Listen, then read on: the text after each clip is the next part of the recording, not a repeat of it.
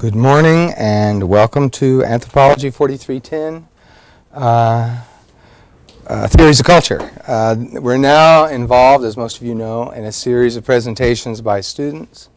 Our first group today is not quite in the classroom yet, so we're going to be waiting for them.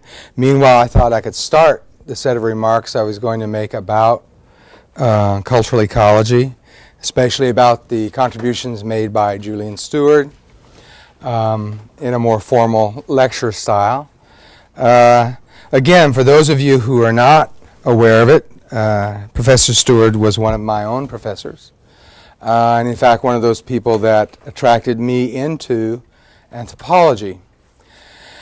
And uh, in terms of where he was leading anthropology, I think he, he was one of those people that brought anthropology from cultural relativism, from the, the, more humanistic side of the theoretical pole or continuum towards um, uh, cultural materialism.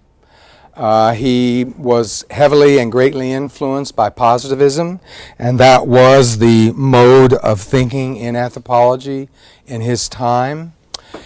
Uh, most people aren't aware of this, but he was originally an archaeologist. He started off with archaeological studies and gradually um, drew or became interested in the studies of the Shoshone Indians of uh, the United States as well as some other groups.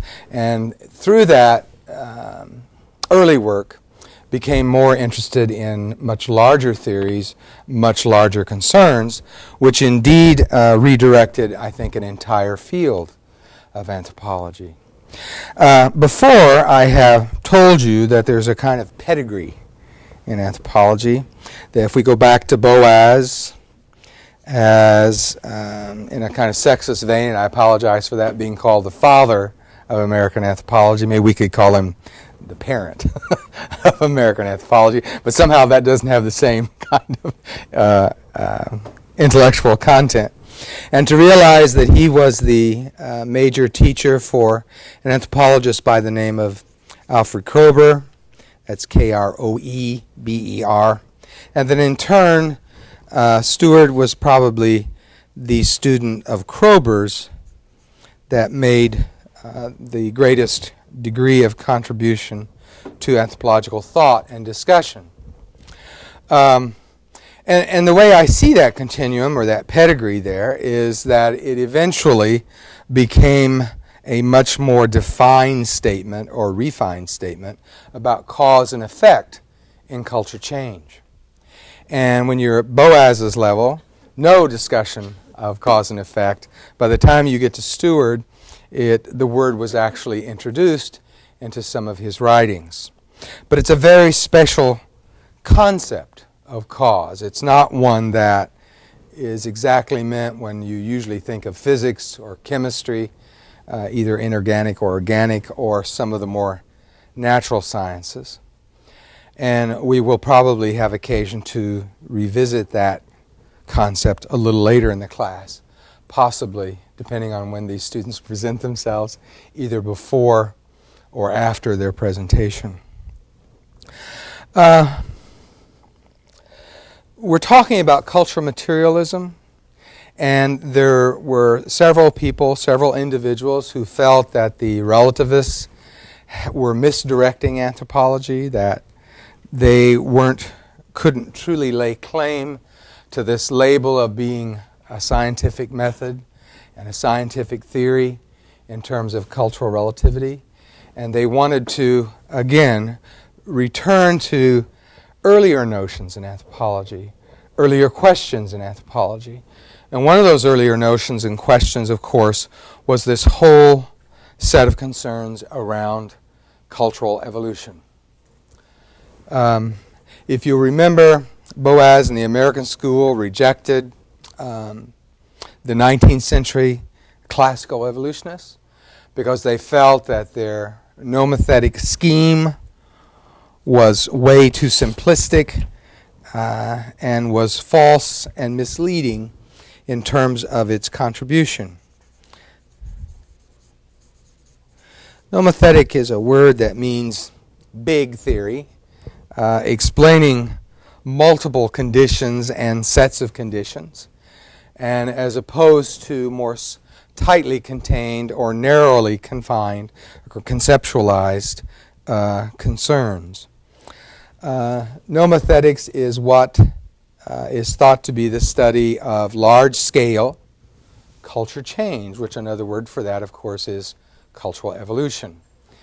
And the, if you remember, the relativists rejected uh, the 19th century anthropologists because they thought their scheme of uh, cultural evolution was too um, ambitious.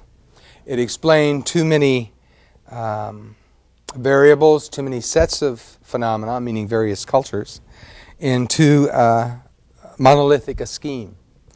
And in doing that, uh, they kind of threw out the baby with the bathwater, according to Steward and his students. In other words, they thought, thought that evolution was an appropriate concern of anthropology, and that anthropology should consider this large scale um, set of conditions leading to cultural change. Uh, the way in which there would be a principal distinction between, say, the cultural evolution of Steward and the cultural evolution of these classical uh, 19th century evolutionists would be that he would call his theory one of multilinearity, whereas their theory was known as a unilinear scheme or approach to the study of cultural evolution. And what that means simply is that there is not one scheme or line of development that can be traced by culture change or in culture change, but rather uh, clinging to those notions of, of Boas, uh, of historical particularism. And I'll put this over where you can see it in a minute. Uh, historical particularism, that there was not, if you remember, uh, one. Uh, uh, history, universal history of humanity or mankind, but rather there were as many histories uh, of human societies as there were human societies. So it became a kind of a historical pluralism or pluralism histories of history. Uh, Kroeber added to this discussion uh, by talking about, um, oh, I would say trends or fashions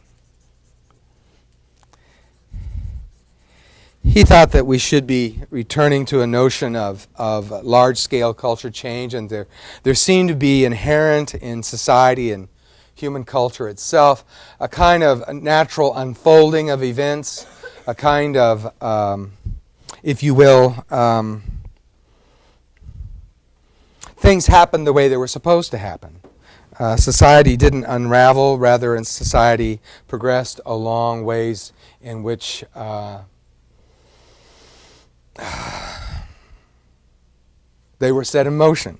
It was kind of uh, not teleologically, but but uh, efficient cause. And in terms of that, in his case, Kroeber would talk about cultural evolution. He would even talk about, for example, if he were describing uh, the contributions of archaeology, he would talk about how various cultures, individual cultures, would have regional uh, contributions to make, and as time passed, and they became more elaborate, and they be- and they changed, and they became part of a much uh, larger configuration of cultural elements. That they moved from simple organized societies, say hunters and gatherers, as they came under the impact of agricultural technology. They in turn would become uh, changed or transformed by that uh, technological innovation. And as time passed, they would then make their own contributions to that kind of elaboration. So, um, uh, and Boas's uh, theoretical conceptualizations, if you like, had the germs of the ideas that Steward later developed. These are not apart from, these are not seen as outside of uh, general anthropological thought. It's really the emphasis given to them, or the importance given to them by the writings of Julian Steward. Um, Steward was, uh, I'll talk about the man for a moment, and then we'll get back to more of his theoretical uh, conceptualizations. Steward was a, a fairly um, accessible person. He was not uh, distant or remote Uh, he taught mostly or only graduate students. Uh, he taught no undergraduate courses. Uh, when I knew him anyway, and, and at the t- entire period of time that he was at the University of Illinois, he only taught one course each year, and that was his theory of culture change, which is what his book, published in 1955, was entitled, and which uh, was primarily contained most of his major ideas and essays, and he brought them together in one volume and laid out then a methodology of culture change and presented that for uh, his students to study. And then we would spend the semester uh, taking his ideas and applying them to areas of the world in which each of us as students were particularly interested. Um, he had this large cross cultural approach to things. He, um, as I say, he was extremely accessible to students. Students could come in and talk to him, in which they frequently sought to do. The game during the semester became, became to catch him. he lived in Fithian, Illinois, which was maybe 20 miles down the road from uh, Champaign Urbana, which was in the middle of a large cornfield. Uh, and but you know he decided that he didn't want to live in in the urban experience of Champaign Urbana, which is even today I think the population is about maybe 250,000 uh, in the Twin Cities, and that was too urban for him. That was too uh, modern, too complicated, too complex. So he moved to Fithian, which was a very small, probably less than a few hundred um, people uh, in the rural environs of Champaign Urbana. Uh, and he lived there with his wife. He had two children, two sons, uh, neither of whom uh, followed in his footsteps. Um, uh, his wife was devoted to him and his career. Uh, I have a book that I was going to present some information from later on. that is edited by his wife, Jane Steward, and probably one of his foremost students, Robert Murphy. It's called Evolution and Ecology. I don't know if you can see it or not. I'll put it up there. Uh, uh, and it was published, I believe, in 19 early 70s, uh, which was also corresponded with uh, right after his death.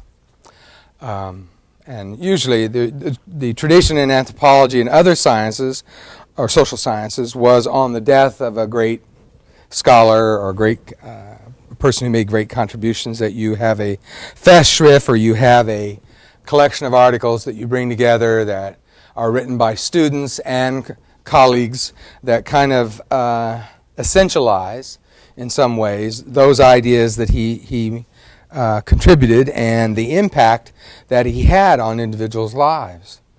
Sometimes those uh, essays or collections of essays were conceptualized before the professor was gone, passed beyond, or however you want to describe it. And in, in Dr. Steward's case, uh, they had a large um, a cocktail party and dinner uh, while he was still alive, and um, uh, anthropologists came to this uh, agricultural uh, isolated community um, in the mid in the Midwest uh, to honor him. And there were anthropologists from all over the world, from New York, from from all parts of the United States as well, from all the major uh, universities that came together in Champaign Urbana uh, to have this uh, Festschrift, or this at least celebration of the forthcoming uh, Festschrift. And I had the honor of being the um, cocktail person. I made the cocktails uh, for this party and served all these famous people and would get their drinks uh, confused and mistakenly ordered and what have you because when they would tell me who they were, I would just, you know, kind of back off in amazement and then forget entirely the order. But of course, I couldn't admit that. I'd just go ahead and prepare a drink and give it to them. And I must say, drink they did, whatever we made for them. But uh, he was a very friendly man, and I, and I remember he is, he's kind of a paternalistic figure. He's maybe one of the last figures that I consider in anthropology at least to have that kind of paternalism. But socially, like many great thinkers and many great anthropologists, he was uncomfortable. He was really socially ill at ease with people. And I remember at that party even that uh, he stayed in the kitchen with those of us who were making the drinks. And all of his students and colleagues, the great names of anthropology out there, were in the other room, other rooms of this house, and he was paying them little attention. And I think it was because he was uncomfortable. He was uncomfortable at the attention he was receiving, and he was uncomfortable with the uh, with being in their presence. And that partly has to, to, I think, to do with why he lived in Fithian as opposed to Champaign Urbana as well. He uh, didn't know what to do with all the acclaim he had received. Uh, but he was a man uh, around whom students felt comfortable. Uh, they felt uh, informed by taking his seminars, which was a two semester graduate seminar. And they uh, came from, as I say, they came from all over the world to study under this gentleman. Um, I think it's, it would be important or useful now for us to think about what were some of the more um, what was the, what were the contributions that he made intellectually? What was his form of materialism? What is it that he uh, set to redirect anthropology? Um, he didn't really have a, an extreme negative reaction to cultural relativism, nor to psychological anthropology, as many of his own contemporaries had. A lot of anthropologists at the time of Franz Boas and Albert Kroeber, Alfred Kroeber, excuse me, uh, really put down this whole area, separate area known as psychological anthropology. They thought it was reductionist in argument, and they thought that it was unacceptable as having such a large claim on anthropological discussion, as it did in the 50s and 60s. Um, and Steward didn't really reject it, he just placed it in a different position vis a vis other subject materials in anthropolo- anthropological discussion. So, in a way, uh, he retained whatever insights cultural relativism had to offer us as anthropologists. But yet, he added to it these notions of ecology or environment. He added to it the influence and importance of the variable of technology. And he was able to take these two notions, these sets of conditions surrounding technology and surrounding the environment, and talk then about a multilinear scheme of cultural development and change. Um, one of his tightest arguments in this area had to do with uh, irrigation civilizations. And I think it, it kind of gives you a notion of his way of thinking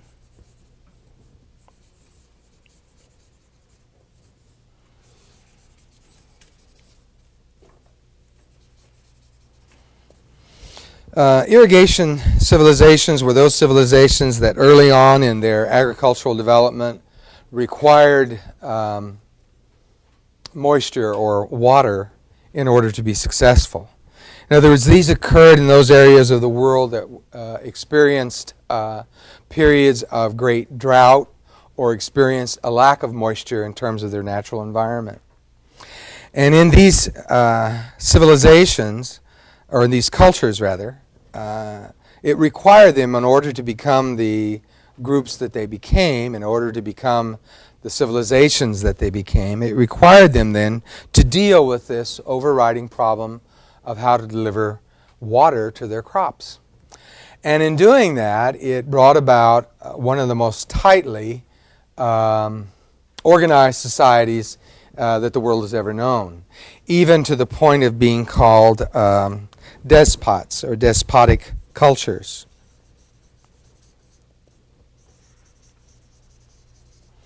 And they had to be despotic in the sense that this was such a mammoth or large scale work that um, uh, felt that, that this required them to organize or marshal labor in that society, M A R T I A L, uh, such that they were able to build these large scale uh, structures that were uh, intended to bring water to um, these various crops, and in turn, the kind of organization that was required, the social organization, was so tightly constructed that uh, they had to be despotic in nature. In other words, these were not democracies. These were not anything like the world is probably witnessing today.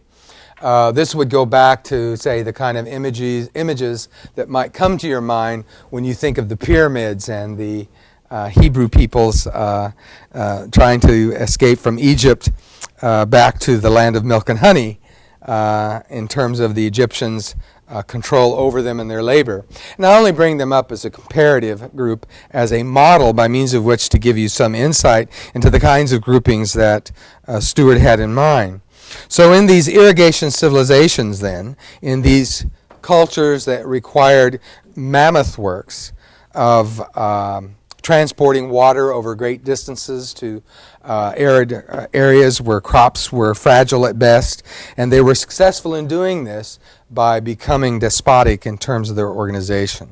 So then you have this notion of here's the environment, a fairly arid environment, in which you have a certain kind of technology involved, irrigation, which in turns allows them to become a much more complex society and civilization than they were previously. Uh, my group seems to be disappearing. uh, okay. Thank you. Because uh, I'm running out of things to say at this moment anyway. At least I thought we were ending here, so I was getting ready to wind up. anyway, uh, you have this arid environment, you have this uh, irrigation technology, and you have then an elaboration of a, of a group of people going to a much less organized group of people to a cultural grouping that was much more broadly organized, that was much more um, tightly organized in a much more complicated way. In, in other words, when, when Steward was talking about going from simple to complex, from regional to national or national in earlier terms, he was thinking in terms of the areas over which a particular society exerted control. And that's why in many of his writings you'll hear phrases such as levels of sociocultural complexity. You go from a simple level of cultural, sociocultural complexity, say such as a hunting and gathering band, to a very complex and broader level of sociocultural complexity, such as one might find in irrigation civilization. Um, you know, we marvel at these things when we look back on them now in terms of the degree to which they were seemingly such a, a tightly organized society, a, a, society and culture in which there seemed to be a great deal of organization, uh, great military forces were established, and empires were built. Uh, but if you think about it, that's what was required. You know, if you look at, uh, for example, another area uh, around which, uh, other than irrigation civilizations, would be the Inca Empire as it was uh, encountered at the time of contact. That was a stretch of land that went from Colombia, vaguely, to through uh, uh, Ecuador, Bolivia, Peru, and Chile. And that's about a 2,000 mile stretch of land. But if you notice, if you've ever seen the maps, you know that uh, it was a very narrow. if you look at Chile today, it seems very narrow in terms of the area covered, in terms of its uh, length, as opposed to breadth. And it would be very difficult to marshal forces that would require some kind of authoritarian rule.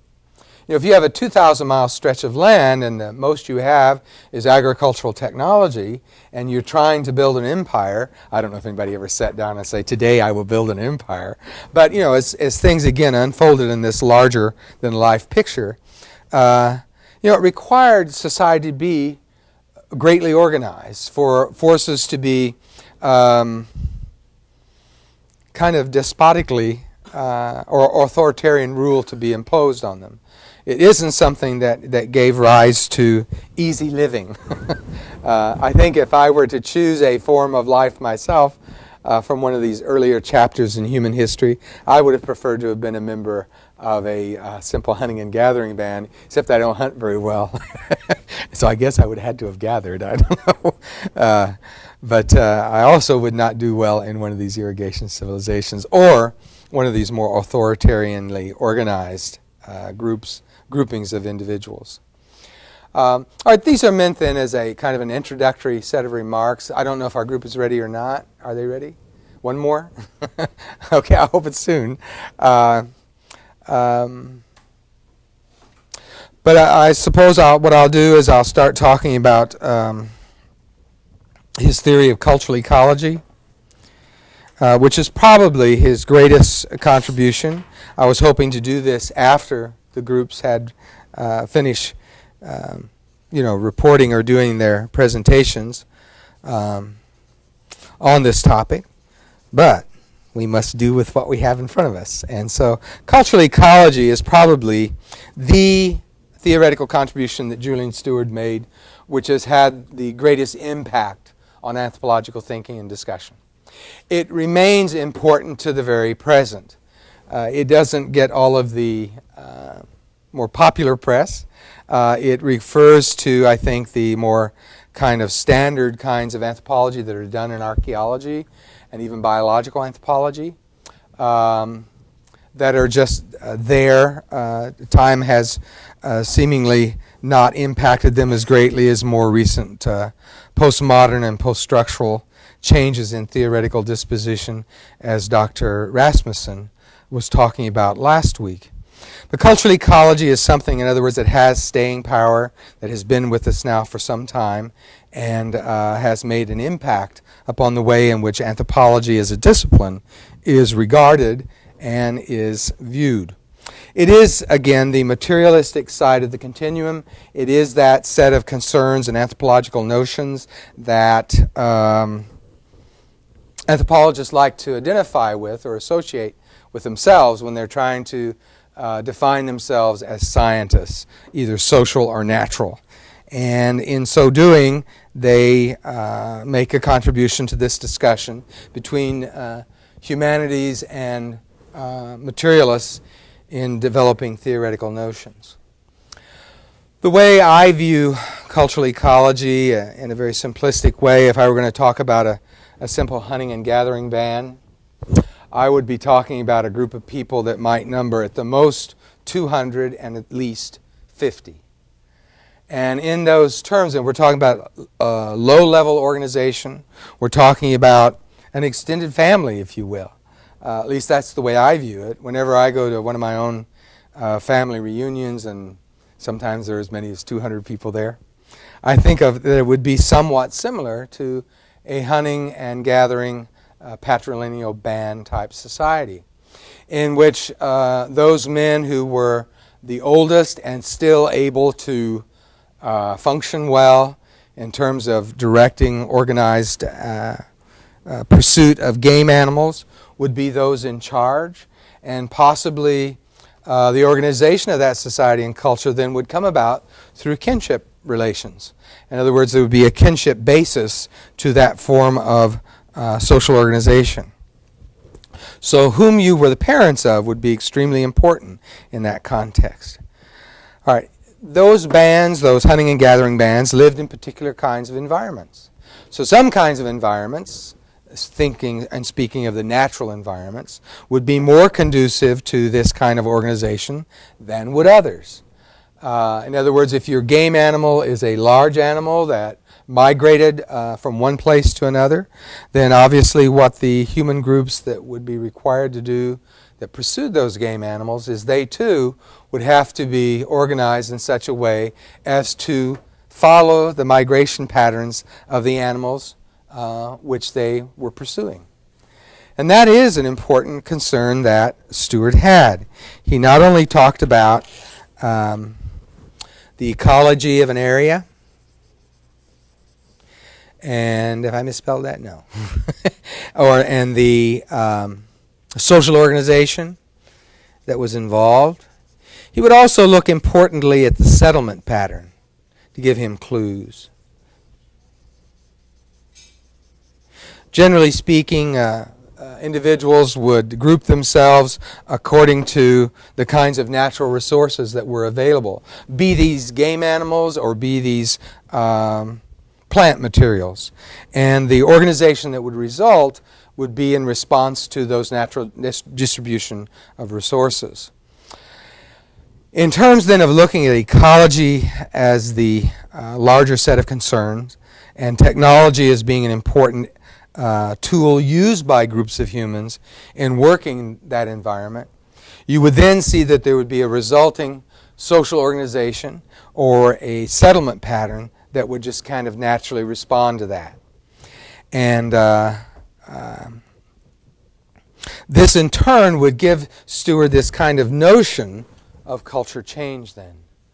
Uh, being a form of culture change that would require or would entertain uh, notions of cause and effect. Cause and effect in this sense means that the possible variations would be limited.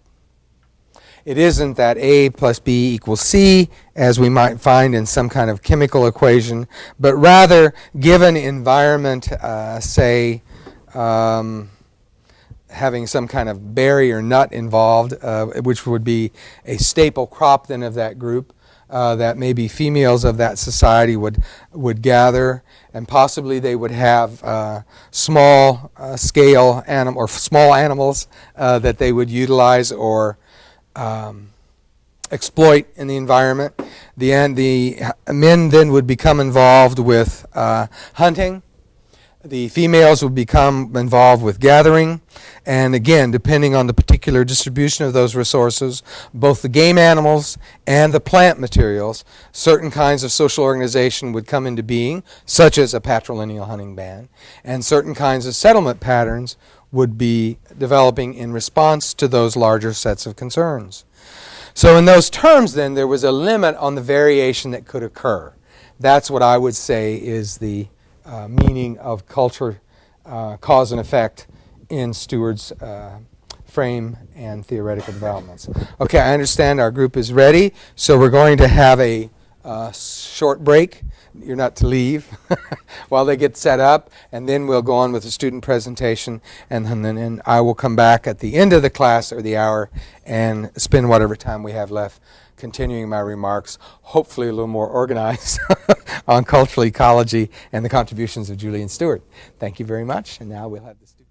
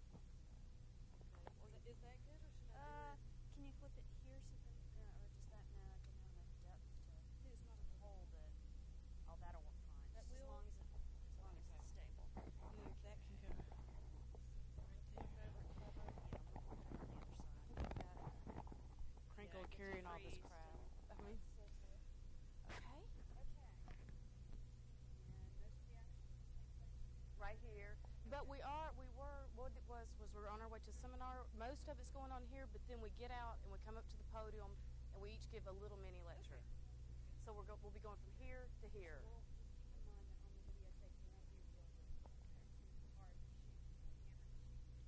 Okay. Should we, we can lower this down to here and move the chairs forward. And then you could get more into the car that way. Okay. All right. All right.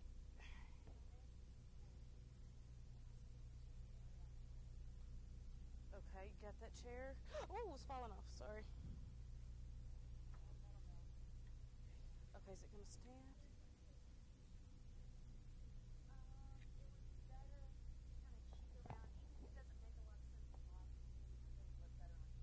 This away?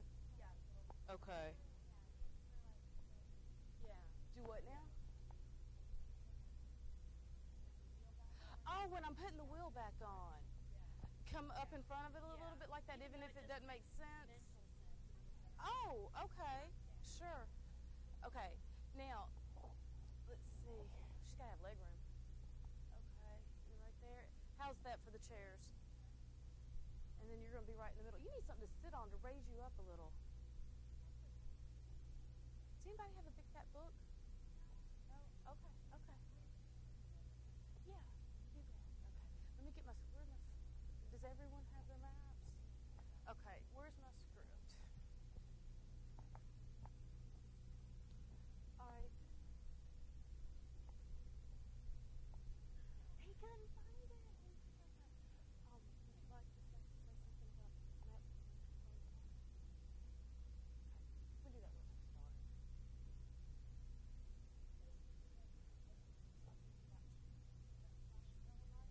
Okay. Your go. Okay. And you want to say? Oh. And the handouts and maps are for you to follow around.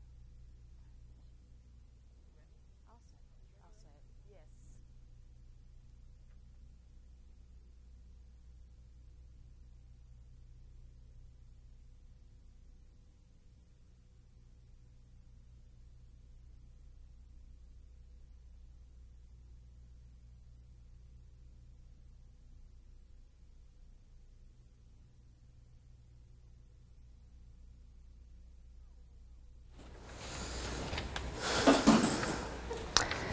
Hi, yes, we're group number three, Cultural Ecology, and we have passed out a map for you to follow along with us on our little trip.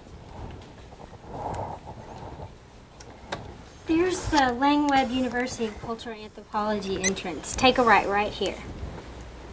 We're on Boas Boulevard.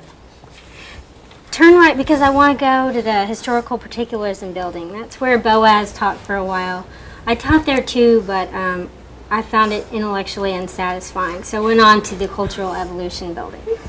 I taught there too. I spent years researching the relationship between several different cultures' technologies and their environments. Oh, really? I was there in 37. I initiated the Cross Cultural Survey Project, which is now known as the Human Relations Area Files. That's where the files are stored in that building. HRAF now has information on 360 societies. Oh, look, there's Functionalism Hall over there. Um, I think Malinowski taught there for a while. He taught several of the same ideas I did. Um, my evolutionary theory is a functionalist conception of culture, but he ultimately saw culture as functioning to meet individual needs. But I think that culture meets the needs of like the whole species in general. Um, by culture, we mean an extrasomatic temporal continuum of things and events dependent upon symboling. You know, culture is not genetically transmitted. I don't know if you knew that. It's a learned behavior. Well, I believe that societies remain in relative equilibrium because they are social ada- adaptations to environmental and economic factors. Murdock, your little theory is amusing, but it's hardly sufficient. You underestimate the importance of how behavior patterns entailed in exploiting the environment greatly affect every aspect of the culture. For example, in a hunting and gathering culture, the amount of food hunted depends on the number of bodies available to do the hunting, the amount of time available to hunt, and how the hunting operation is to be carried out in the first place, and how the food is distributed, etc., etc., etc. Well, Steward, you are a self absorbed, undereducated pea brain. You would have a difficult time finding an anthropologist who has not made similar cross cultural comparisons and conclusions, no matter what his dogma is. Really? Yes, at least my conclusions stand up reasonably well. Lots of anthropologists conduct cross cultural research. Okay, okay, shut up, you old fart. I think we need to get to the seminar. We're going to be late. You might need to, I think you need to take a left on Culture Core Circle. Okay. Hey, did you hear? They put up a statue of Boas by the fountain over there. It's not a statue of Boas. It's a statue of Michelangelo's David with Boas's head on it. I think it's a rule that you have to be dead before they put up a statue of you. I think they'll have statues of us someday. Maybe sooner than you think with her driving. Okay, um, let's see. Okay, we're on Culture Course Circle. Hey, there's Whitehall. I have a building named after me. Well, I have a building named after me, too. Well, in my building, each floor is named after each sub- system of culture. The first floor is technological studies, the second floor is sociological studies, and the third floor is ideological studies. Well, in my building, um, it's the Murdochian Towers, and it is the behavioral sciences building, and it includes the psychology, ethology, uh, anthropology, and sociology departments. Because of me, they are all part of a single discipline, and my work helped develop the theoretical approach that united them, and so put them all in one building at this university in honor of me. So there. Okay, okay. Hey, look, we're passing the football field. There's a game going on. It's homecoming. Oh, we're playing the Bushmen, the hunting and gathering culture of the Kalahari. Oh, look at the trumpets and the drums. It's the patrilineal band playing. Oh, to be young and energetic again. Was what you said about societies and what was uh, what was it that you said about exci- societies and experiment sexual experimentation? Oh, that was whenever you're young and unmarried. Those societies that I studied permitted uh, pretty free sexual experimentation, but once they got married, uh, sowing their oats was over with. Um, you know that only 2% of societies condone that free behavior then. Uh, if such behavior were allowed to go on, then jealousy and discord would be generated by that infidelity. It's nearly universal that there are prohi- uh, prohibitions against adultery. Okay. Hey, Steward, watch the road. Oh my gosh, I think we had a flat tire! I told her, I told you that she would kill us all. You still seem to be in one piece to me. Your legs seem fully functional. You know you may very well walk if you please. Let's just get out and change the tire, so we're gonna be late. Where's the jacket, Emily? It's your car. I think we need to hurry. I take it right up to the front. Then. Hurry up, we're gonna be late. Take it right up.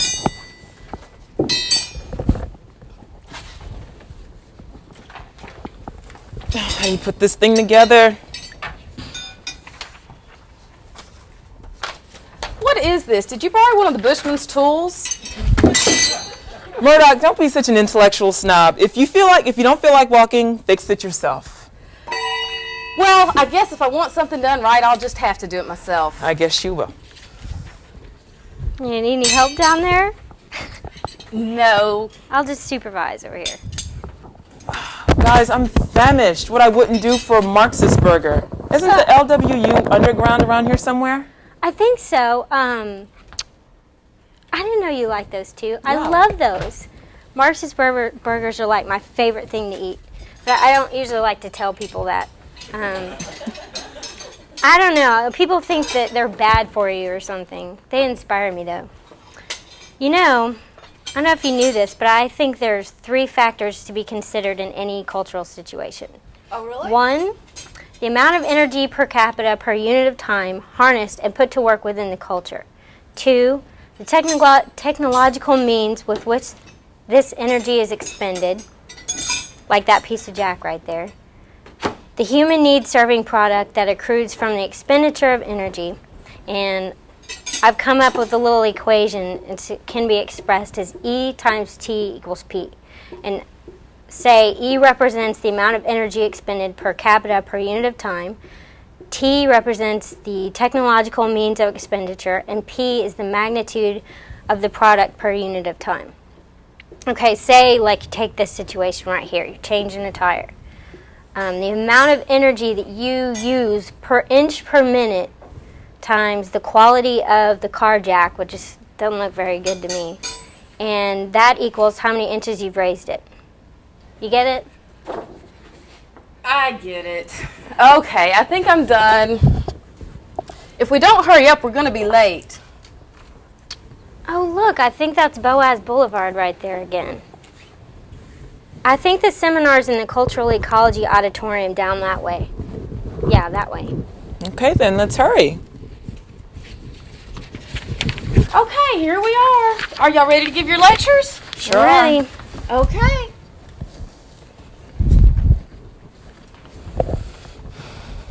Hi, how are you today? I'm George Peter Murdock. Like White and Steward, my colleagues, who you'll be hearing from shortly, I believe that social structure was created by forces external to social organization, principally uh, economic factors. In anthropology, I have uh, been best known for my studies of social structure and for my quantitative cross-cultural approaches. I am one of the first authors to use statistical analysis of ethnographic uh, data and random sampling. I further developed the comparative method which was previously outlined by Tylor in 1889. Because I pioneered the development of cross-cultural quantitative analysis in anthropology, I was considered by many to be a principal force behind the emergency of scientific cultural analyses. The benefit my form of research to my form of research is the ability to rapidly retrieve and correlate large amounts of cross-cultural data. Um, there have been many criticisms of my methods. Some were well founded, uh, such as not naming my references for some of my data. I forgot while I was buried under tons of information from all those cultures. I can only do so much, it happens. You know? And treating my data as uniform and comparable, even though the societies in my samples were uh, diverse both geographically and temporally. Still, all in all, my conclusions stand up reasonably well. I feel pretty good. I feel like I did a pretty good job anyway. Um, I must have done something right. Divorce is common in societies around the world, and societies do have mechanisms to slow down or prevent divorce. And while many anthropologists reacted against my methods, there's an equal number that do conduct cross cultural research even today. I'm very proud that the HRAF remains popular and is a valuable tool of research. You can check it out for yourselves in the Historical Particularism Building. Well, that's enough about me. Let's hear from a renowned colleague of mine, Leslie White. Hello, everyone. Uh, I've spent about 40 years developing one of the best anthropology departments in the United States at the University of Michigan. My lectures emphasize cultural determinism as opposed to free will or deism, uh, which is the beginning lead to attacks from irate parents. The Catholic Church lobbied state legislatures against me and tried to get me dismissed from the university. But my lectures were well attended, my articles were extensively reprinted, I must say. Um, at that time, my evolutionary theories were at odds with most anthropological thinking. I wasn't a popular person.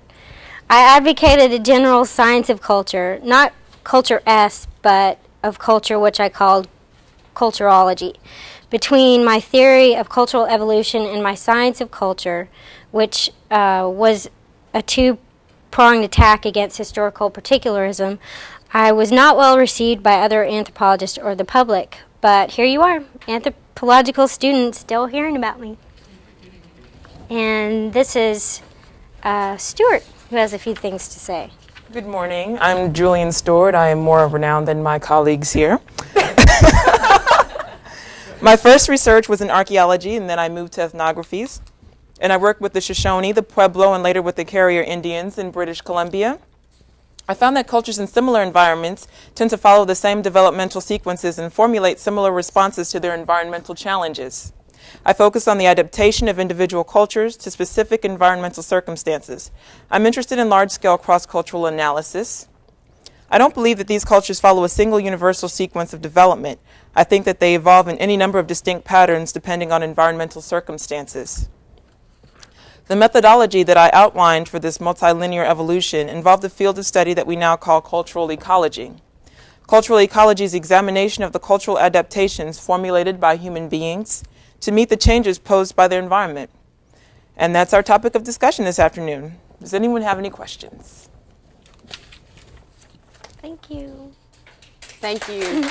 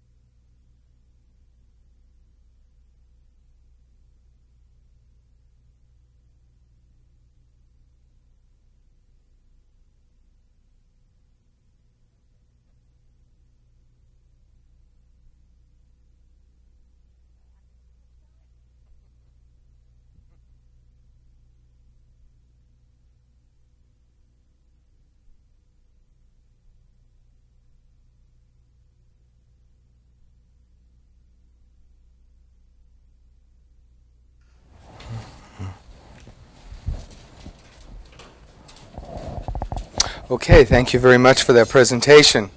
I'm sure we got a lot out of it. Uh, you'll notice that the students discussed uh, three different individuals in their presentation on cultural ecology or cultural materialism. Uh, one of them was George Peter Murdock, who is uh, known for his founding, if you will, of the Human Relations Area Files, which for those of you in the Houston area, you can find an entire set of those files at Rice University's library. Uh, they usually have a, an individual librarian that's in charge of that collection, though. So if one of you ever want to go look at it, I would suggest you make arrangements ahead of time, in the sense that it is a very expensive uh, uh, item for that library to have procured, and as such, it has to be protected. Um, it represents an earlier time in anthropology, though, the accumulation of those files, and it represents a time when people felt that the appropriate goal of anthropologists and anthropology was to document in entirety all the world's cultures. And again, that goes back to earlier, I think, Boasian notions of cultural diversity, historical particularism, and they thought that the best way to document that was to set it up in the form of these human relations area files. The item, I guess, that would be added onto is, again, was this strong reliance upon the comparative framework. And it kind of, of um, anticipates uh, computer technology and way of thinking meaning that if you wanted to, for example, know what the associated variables were with a particular kind of sociocultural uh, dimension, say, we'll say a patrilineal uh, form of organization, that you trace your relatives or ancestry uh, through the males of your family. And that becomes an important organizing principle then of your society and culture. Or then you could poke in the uh, long rod that would go into the human relations area files, and you would uh, set that as your. That's the factor you want to look at is is patrilineality. Well, then upcoming would be would hit the hole, so to speak. This is an earlier form of computer technology when you had key cards, etc. Uh, upcoming then would be all those societies and culture among those 365 mentioned by our students uh, that would have patrilineality as one of its core features. Then you could look to see what the other features in that society and culture were that corresponded with patrilineality. So it wasn't just, say, a patrilineal hunting ban in the Plains Indians, it could also be patrilineal societies in Southeast Asia, it could be other examples of patrilineal societies in many different parts of the world. But you could see then what the associated patterns were that went along with or were interdependent with that particular aspect. If you're recall I'm using lots of adjectives here that go back to earlier lectures interdependency of elements, uh, seeing societies and cultures as systems, um, etc. And that is uh, where anthropological thought was in the uh, 40s and 50s, again, when the human relations area files were an important uh, emerging tool. Again, uh, largely encouraged by such people as George Peter Murdock. He thought that he had come up with a list of variables that would be sufficient for all time and, and throughout the future studies of anthropology, that, that one could take these various blocks, if you will, or areas of concern or descriptive areas of a society and culture, and then you would have a sufficient uh, template for cross cultural comparison and discussion. Uh, so, for example, I mentioned patrilineality to you. Another one would be let's look at the uh, institutions that are associated around uh, food and procuring of food or acquiring of food for nutrition.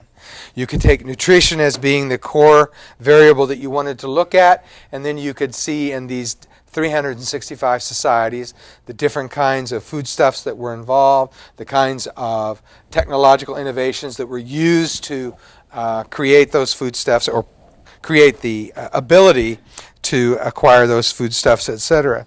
And, and in a way, I see that that kind of anticipates uh, computer um, interdependency, if you will, in terms of associating variables. And that's really what uh, George Peter Murdock had in mind is uh, he didn't know about computers, and he certainly probably didn't have a personal computer of his own when he came up with these formulations because they didn't yet exist.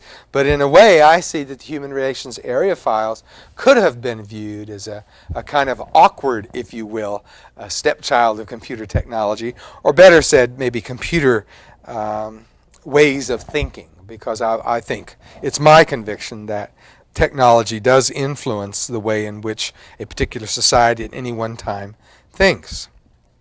So again, I see George Peter Murdock's contribution and work as uh, preliminary to or as anticipatory of uh, later work that would be done as a result of uh, computers. Notice in there that I did talk or mention something about templates and if you'll notice in, in more current anthropology, in today's anthropology, uh, people writing, say, in the areas of, again, postmodern kinds of concerns or, or interpretive anthropology or humanistic anthropology, uh, whatever uh, various formulations you want, uh, some of these templates are found to be unacceptable.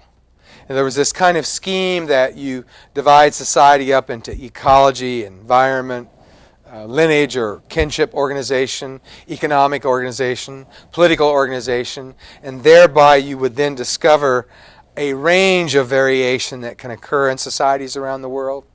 You would find that these are Western categories imposed outside or artificially on human societies, their study and their analysis. And, and while it seemed perfectly acceptable at that time to kind of take in uh, this Western kind of imposing of categories, it is uh, a point of contention around which today's scholars, I think, would, would take issue. And it would be a point of issue uh, that would uh, separate more current formulations of theories from past chapters in theoretical development and thinking in anthropology. Uh, another anthropologist that was mentioned by this group, very appropriately, was um, uh, Leslie White. Leslie White, I met here at, uh, at the University of Houston, uh, low many decades ago now, and when I was a young professor. And he was actually a visiting professor at Rice University, and he graciously accepted an invitation to give our students and faculty in the larger university a guest lecture. And he uh, was primarily known for his ecology or energy theory of cultural evolution. Um, some people have even called it energy evolution, but let's call it energy uh, theory of cultural evolution.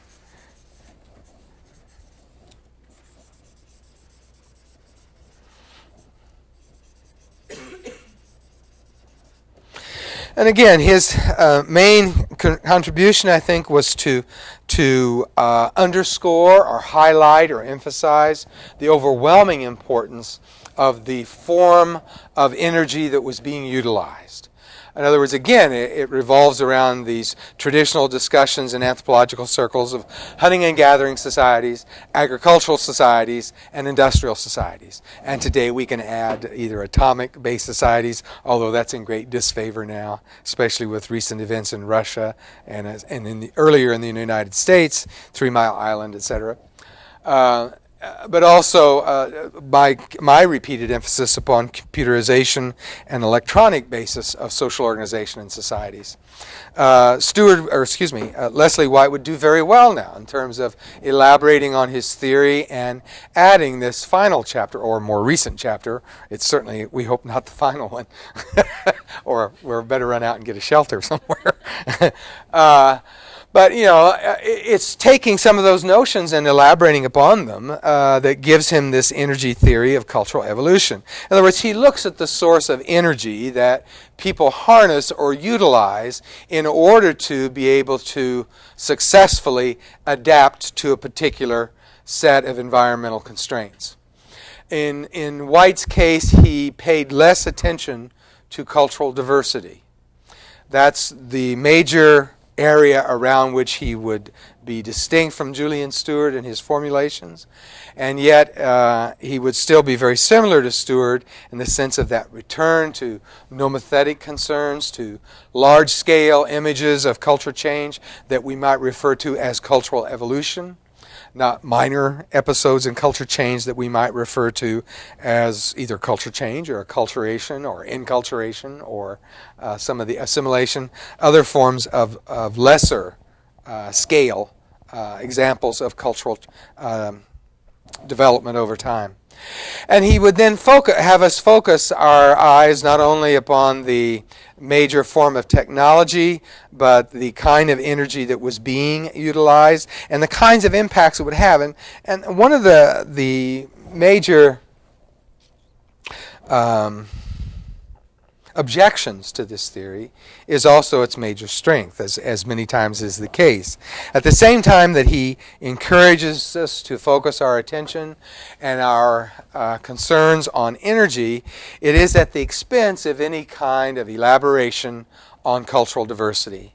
So you kind of get this notion that environment is unimportant in his formulation and environmental concerns and environmental diversity have no effect or impact on the kind of cultural evolution that occurred. And that if you add the kind of energy that comes about from hunting and gathering, it would promote across the board in all different parts of this world, this planet Earth, wherever it was, whether it was an arid environment, whether it was a tropical environment, whatever, that all these areas of the world would be, given the fact that they were reliant upon hunting and gathering as their source for utilizing energy in terms of adapting to the larger uh, uh, area in which they existed, that you would then have this uniformity of change or development occurring. So that when you add, say, agriculture to that, you would get wide scale change going from uh, hunting and gathering to agriculturally based societies and cultures. And again, it's kind of an anti Boasian point of view, if you will, because it takes away all those well established concerns that Boas had given us in terms of. Um, uh, cultural diversity and historical particularism, or a pluralistic conception of culture history. Uh, and I find that when I reread and I look back at uh, these chapters in cultural theory, that there was more than just theoretical differences between Franz Boas and Leslie White. It takes on a, a kind of almost ugly tone, as it were, not in terms of their individual writings, but in terms of students' writings about the other camps' points of view. That makes me realize and led me to the realization that the, the, controversy that existed between Franz Boas and Leslie White was more than theoretical, it was personal. And unfortunately, this is one of those chapters in anthropological history where that that uh, takes shape and is given form. This kind of personal animosity is then raised to the level of theoretical discussion. But nonetheless, in spite of all that, uh, both uh, uh, Leslie White and uh, Franz Boas obviously were scholars in their own right. They each formed, as was uh, duly noted, individual uh, departments of anthropology, which were highly competitive with one another. If I could point historically to the two foremost departments of anthropology in the history of American anthropology, they would be the Department of Anthropology at the University of Michigan, which was formed, founded, and uh, developed by Leslie White, and the Department of Anthropology, which was founded, developed, and formed by uh, Franz Boas at Columbia University. And in turn, if you look at the scholars and the students that these two departments of anthropology produced, you would have the leading um, theoretical proponents of American anthropology that bring us to the present day. Um, so obviously, he's a highly important man. But his uh, Leslie White, but his his uh, the extent of his contributions was focusing our attention more on energy and the form of technology that was involved. But again, he takes away this notion of environmental diversity and then a correspondingly a lesser concern with cultural diversity. Because for him, cultural diversity equated to technological diversity.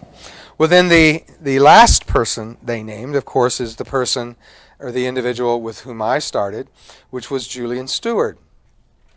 And that's why I uh, put Julian Steward in that pedigree or genealogy, if you will, of anthropological thinkers, because he retains the historical plurality or pluralistic conception of culture history given us by uh, Franz Boas.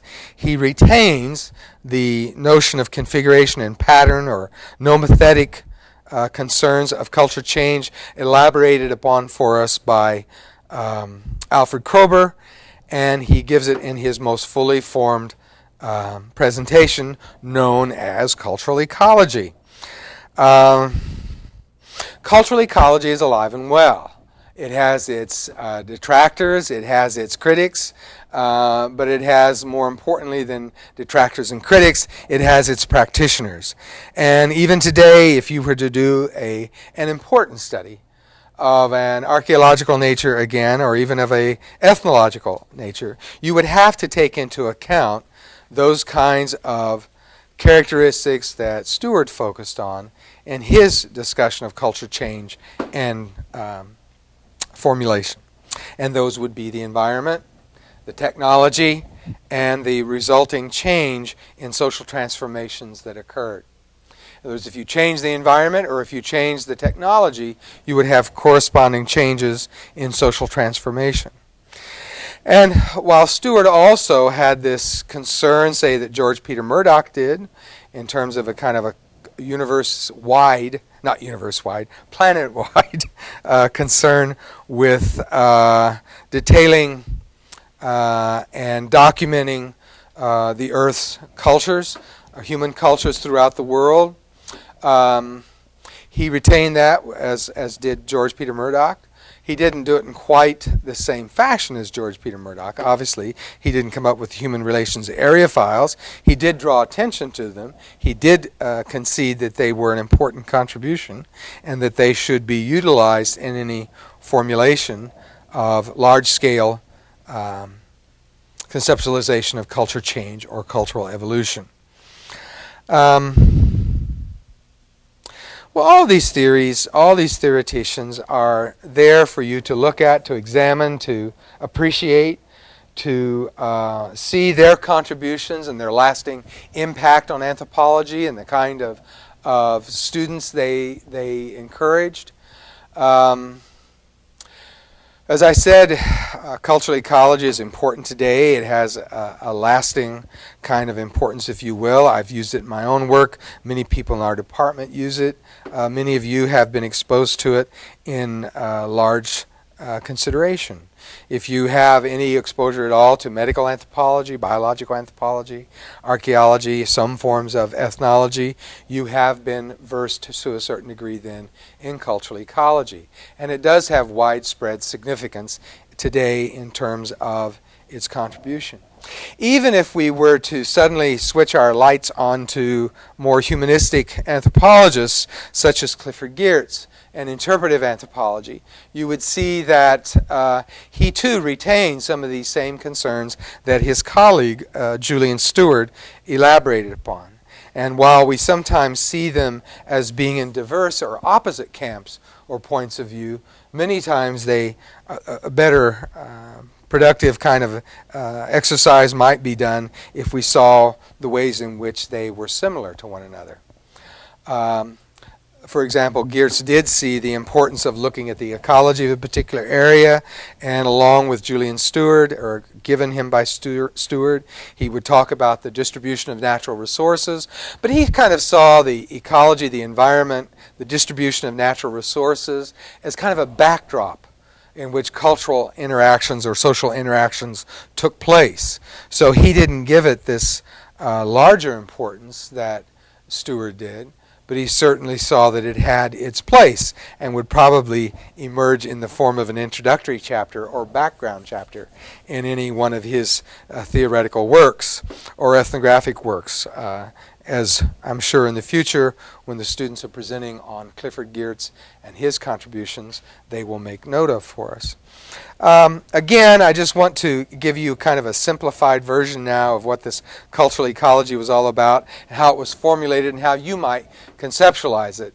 If you can think, if you will, of a valley over here somewhere next to the university, that will be our little experiment in cultural ecology. I would say the first thing you would do is you would note the kinds of of environmental uh, characteristics that you might give it. In this area, I think we normally think of our own uh, region as being somewhat semi-tropical. It's not tropical and it's not uh, temperate, but it's somewhere in between, and somehow that's been designated as semi-tropical. So in that semi-tropical environment, then there are certain kinds of uh, natural plants that occur. You know, there's certain kinds of trees, certain kinds of foliage, certain kinds of crops that are more advantageous or grown in this region and have uh, a rightful place here than do others.